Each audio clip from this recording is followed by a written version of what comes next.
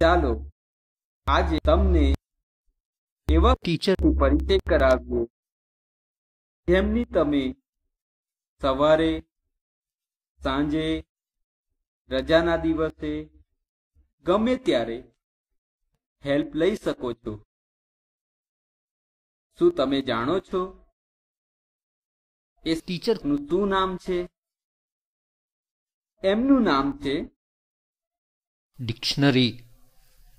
D i c t i o n a r y dictionary આ dictionary તમને english ના બધા શબ્દોના બતાવશે ઉચ્ચારણ અને મીનિંગ ત્યાં સુધી એ શબ્દોનો વાક્યમાં કેવી રીતે યુઝ કરવાનો છે તે પણ ડિક્શનરી બતાવે છે. શર્ત એ છે કે તમને તેની પાસેથી હેલ્પ લેવાની પદ્ધતિ આવડવી જોઈએ. અને એ પણ છે ખૂબ સરળ. એના માટે તમારે ફક્ત એ જાણવું જોઈએ કે ઇંગ્લિશના આલ્ફાબેટનો કયો અક્ષર પહેલા અને કયો અક્ષર પછી આવે છે? એટલે જે શબ્દની તમને શોધ એના પહેલા અક્ષર ના પછી કયો અક્ષર આવે છે? અને એ અક્ષર પહેલા કયો અક્ષર આવે છે? બસ. પછી તો તમે ફટાફટ ઝટપટ પહોંચી જશો. ડિક્શનરી ના એ ભાગમાં એટલે એ પેજ પર જ્યાં તમારે એ શબ્દ. જેનો ઉચ્ચારણ અને તમે જાણવા માંગો છો. તે મળવાનો છે. કેમ કે એ પેજ પર બધા એ શબ્દ હશે જેનો પહેલો અક્ષર એ જ હશે જે એ શબ્દનો છે જેની છે તમને તલાશ. હવે ત્યાં પહોંચીને તમારે શોધવાનો છે તમારો શબ્દ. અને તે મળશે આલ્ફાબેટિકલ ઓર્ડરમાં આલ્ફાબેટિકલ ઓર્ડર એટલે જે ક્રમમાં હોય છે, ઇંગ્લિશની વર્ણમાળા. જેમાં પહેલો અક્ષર? છે અ એટલે એ અને છેલ્લો અક્ષર? છે ઝેડ. હવે વિચારો તમારે શોધવાનો છે શબ્દ huge. H U G E જેમ કે મહાદન સ્ટોરીમાં છે. Huge elephant. હવે હ્યુજ જે છે એનો પહેલો અક્ષર છે. એચ. તો એ તમને મળશે ડિક્શનરી. ના એ પેજીસ પર જ્યાં એચથી શરૂ થવા વાળા બધા અક્ષર? મળશે.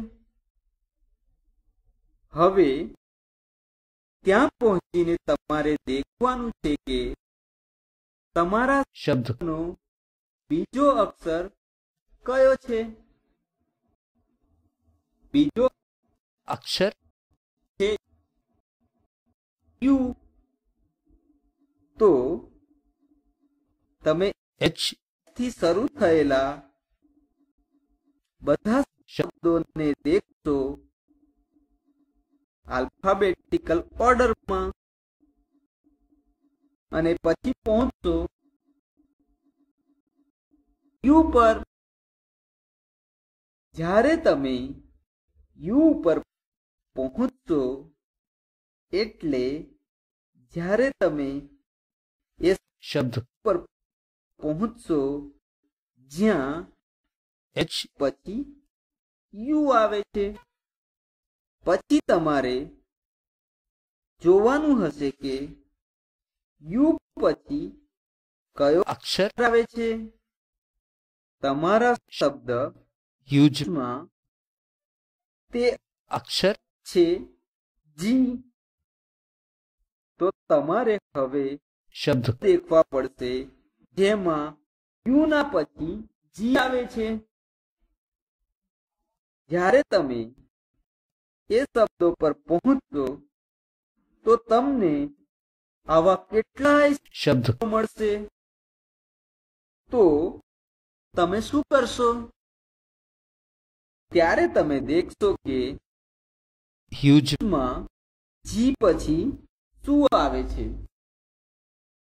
હ્યુજમાં આવે છે ઈ તો ચોથો અક્ષર તમારા શબ્દનો છે ઈ. હવે તમારે દેખવાનું છે કે એચથી શરૂ થવા વાળા એ બધા શબ્દો જેમાં બીજા અક્ષર છે યુ ત્રીજો છે જી અને ચોથો એ બી સી ડી જો છે તો તેના પછી જ તમને મળશે ઈ અને મળશે huge H U G E હવે દેખો એની સરળ રીત એ છે કે ડિક્શનરીમાં બધા પેજના ટોપ ઉપર બે શબ્દ લખેલા હોય છે. એક જે એ પેજ પર પહેલો શબ્દ હોય છે. અને બીજો એ પેજ ઉપર છેલ્લો શબ્દ. હોય છે. તો બુદ્ધિમાની એમાં છે કે બધા પેજની ઉપરવાળા બે શબ્દોને વાંચીએ અને એનાથી તપાસ કરીએ કે આપણે જે શબ્દની શોધ કરી રહ્યા છીએ એ એ બે શબ્દોની વચ્ચે મળશે કે નહીં જો મળશે તો એ પેજ ઉપર લખેલા શબ્દોને આલ્ફાબેટિકલ ઓર્ડરમાં એક્ઝામિન કરશો હવે આલ્ફાબેટિકલ ઓર્ડરમાં પહેલો અક્ષર બધાનો હશે. એચ બીજો અક્ષર આપણને જોઈએ યુ. અને ત્રીજો જોઈએ જી. અને ચોથો ઈ. તો બીજો ત્રીજો અને ચોથાથી જે પણ અક્ષર પહેલો આવે છે આપણો શબ્દ હ્યુજ એના પછી આવશે. જે અક્ષર યુના પછી આવશે. જેમ કે વી છે. પછી જી ના પછી આવે છે. એચ અને ઈ પછી આવે છે. એફ તો હ્યુજ એ શબ્દોથી પહેલા આવશે. તો જો આપણે ઇંગ્લિશની વર્ણમાળાના બધા અક્ષર સારી રીતે યાદ છે તો શબ્દને શોધવામાં બિલકુલ વાર નહીં લાગે. હવે આપણે શોધીએ. એક શબ્દ. Hand. H A N D hand. એ પણ એચથી શરૂ થાય છે. પરંતુ એનો બીજો અક્ષર છે જે તે છે એ. તો આપણને એચથી શરૂ થવા વાળા બધા શબ્દોમાંથી એ પહેલા કેટલાક શબ્દોમાંથી મળી જશે. પછી, એના પછી આપણે દેખવાનું છે કે એ પછી એન આપણને ક્યાં મળશે?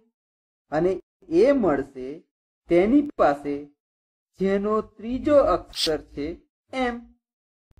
કેમ કે વર્ણમાળામાં એન જો છે એ એમની પછી આવશે. એવી રીતે ડી આપણને મળશે જેનો ચોથો અક્ષર સી આવે છે. કેમ કે સી ના પછી આવે છે. ડી અને જ્યારે આપણને હેન્ડ નો મિનિંગ જોઈએ છીએ તો એની સાથે આપણને એ શબ્દ પણ મળે છે જે શબ્દોનો એ બીજ શબ્દ છે જેમ કે